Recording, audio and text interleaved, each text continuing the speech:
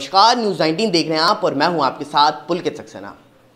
आप सभी को बता दूँ कि उदयपुर हत्याकांड लगातार चर्चाओं के अंदर बना हुआ है और इसी को लेकर के आज राजस्थान की राजधानी जयपुर में स्टैचू सर्किल के ऊपर सर्व हिंदू समाज के द्वारा हनुमान चालीसा भी की जाएगी तो वहीं प्रदर्शन भी किया जाएगा। लेकिन यह प्रदर्शन शांतिपूर्ण तरीके से किया जाएगा।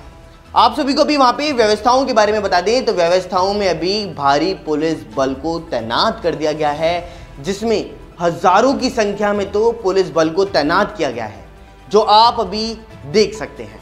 साथ ही आप सभी को बता दूँ कि यहाँ पर अभी सुरक्षा के चाक चौबंद इंतज़ाम भी किए गए हैं। ड्रोन की सहायता से सुरक्षा की गई है, जिससे कहीं पर भी किसी भी प्रकार की घटना हो तो उससे पहले ही उस पर लगाम लगाई जा सके। साथ ही आप सभी को बता दूँ कि स्टैचू सर्किल के बाहर ही पुलिस के बैरिकेड्स लगा दिए गए हैं, जिन पर अभी हाल ही में किसी भी वाहन को अंदर नहीं जाने की अनुमति दी जा रही है और सभी वाहनों को बाहर ही लगाने की अनुमति दी गई है।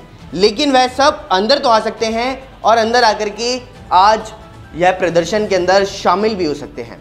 वहीं दूसरी तरफ़ अगर हम बातचीत करें तो आज बीजेपी के बड़े बड़े नेता भी इस प्रदर्शन के अंदर शामिल होने वाले हैं, जिसमें राजस्थान के अंदर बीजेपी के प्रदेशाध्यक्ष सतीश पूनिया सहित कई तमाम प्रकार के बड़े नेता यहाँ पर मौजूद रहने वाले हैं।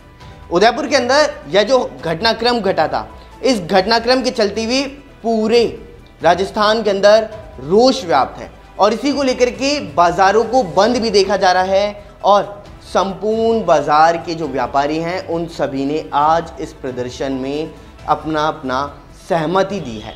और अपनी सहमति देने के बाद में ही वह सब पूरे मार्केट को बंद करने के बाद में स्टैचू सर्किल पर मौजूद रहने वाले हैं। हाल फ़िलहाल तो अभी यहाँ पर 100 से 200 लोग देखने को मिल रहे हैं, क्योंकि यह सब अभी कार्यकर्ता हैं जो तमाम प्रकार की व्यवस्थाएँ संभाल रहे हैं। और इन्हीं व्यवस्थाओं के चलते हुए अब धीरे धीरे यहाँ पर लोगों की भीड़ जुटना इकट्ठी हो जाएगी, और इसी भीड़ के चलते हुए आज यह प्रदर्शन होगा। सुनने में तो यह भी आ रहा है सूत्रों के मुताबिक कि आज शाम को अगर यह प्रदर्शन शांतिपूर्ण रहा तो इस प्रदर्शन के बाद में नेट को चालू भी कर दिया जाएगा और राजस्थान की राजधानी जयपुर में एक बार फिर से नेट चालू होता हुआ नज़र आएगा। सभी की एक ही मांग है कि उन हत्यारों को फांसी पर चढ़ा दिया जाए, उन्हें कड़ी से कड़ी सजा दी जाए।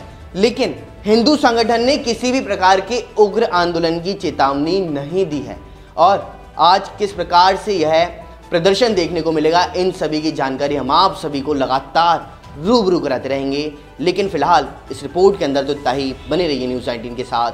नमस्कार।